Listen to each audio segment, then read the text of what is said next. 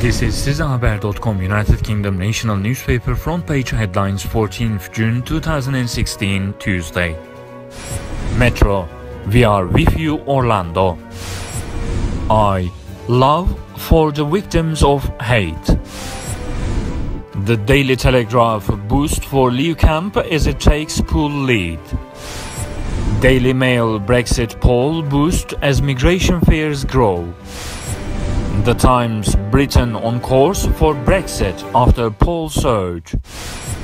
The Guardian Labour steps up fight for EU as alarm grows. The Sun Believe in Britain. Daily Express proof we cannot stop migrants. Daily Mirror Ultra Evil. Daily Star Big Bro Live Sex Show.